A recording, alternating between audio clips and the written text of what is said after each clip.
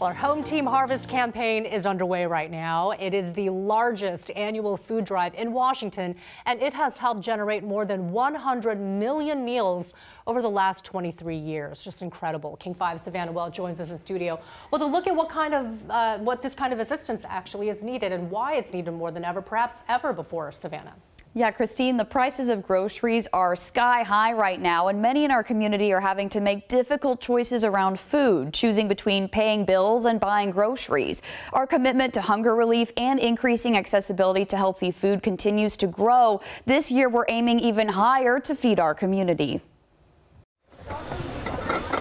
Washington's largest food drive is back.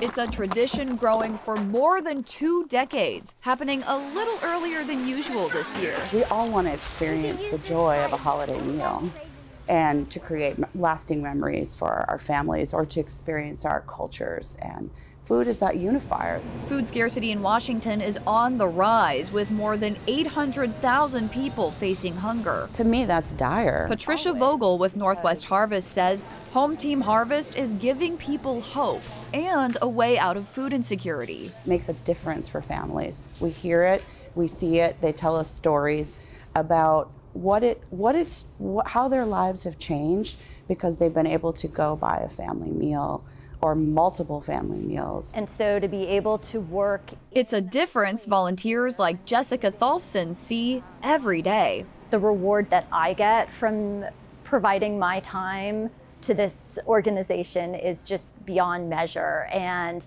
it's an easy and really fun way to be able to give back. Tholfsen has been a volunteer at Northwest Harvest SODO Community Market for more than two years. She says people have a right to food, especially healthy food. And for Northwest Harvest, that's a priority. You look at the cost of those healthful foods in a grocery store, and families are not going to spend their dollars on those when they can get more volume of the less healthy option. This year, Home Team Harvest aims to break last year's record of 23 million meals. And this year, the goal is to provide 24 million meals, and it will take plenty of helping getting there. There are several ways to donate. So one easy way is by scanning the QR code that's on your screen. You can also visit your local Safeway or Albertson store to give a grocery card, and you can head straight to king5.com slash home team harvest to donate and to learn more about the campaign. Savannah Welch, King 5 News.